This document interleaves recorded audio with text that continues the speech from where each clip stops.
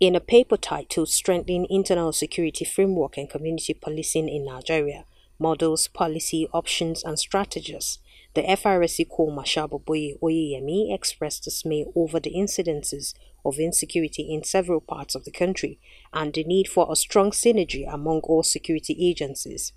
FRSC organizational framework, he explained, has been able to utilize both human and operational facilities to improve on the nation's security as the Corps recovered over 166 vehicles at registration points across the country through its National Vehicle Identification Scheme platform in the last five years.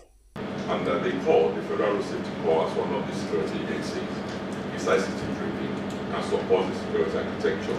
And we have a very strong bond with the Department of State Services in intelligence sharing. Whenever we receive the information, it is relayed to them and to the military too.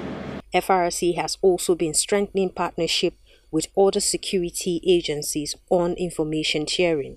The leader of the delegation, Professor Celestine Oyombasi, explained that the visit was part of a tour to strategic institutions in the country as part of its study on internal security management and community policing in Nigeria. And we are here in particular about the brief on the challenges, of course, that is facing this country as far as, of course, the road safety is concerned. The delegation were also briefed on the operational and administrative activities of the Corps and how FRSC has over the years helped in curbing issues that cause threats to security of lives and property.